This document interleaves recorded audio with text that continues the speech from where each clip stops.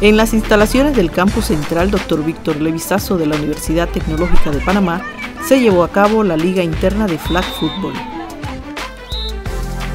Esta liga es organizada por egresados de la Universidad Tecnológica de Panamá con estudiantes convocados de todas las facultades de esta casa de estudios. Ya tenemos una selección, eh, bueno, dos selecciones, una selección de hombres y una de mujeres. Y ahora mismo hemos sacado siete equipos de hombres y seis equipos de mujeres para lo que es la liga interna.